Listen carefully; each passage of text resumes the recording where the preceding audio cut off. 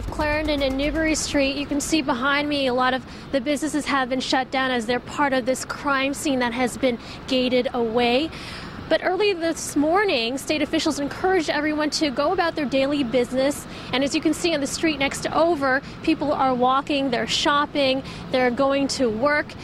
Police are just cautioning people to be on the alert and they're increasing their presence on the ground, including at the State House, where several police cruisers are parked along the sidewalk. They're, uh, they're making routine rounds. Troopers are screening the belongings of everyone entering the building, including lawmakers.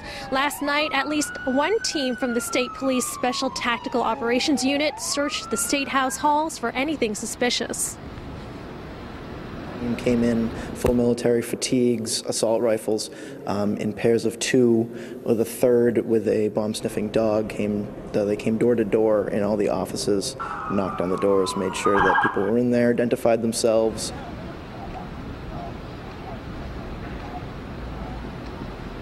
As you know, 22 News has a bureau inside the State House, and police were actually searching through my desk looking for anything suspicious, and they found this bottle of hairspray to be questionable. Luckily, reporters on the scene told them that it belonged to a regular working reporter, and it's a good thing because I need my hair product. Live in Boston, Christine Lee, 22 News.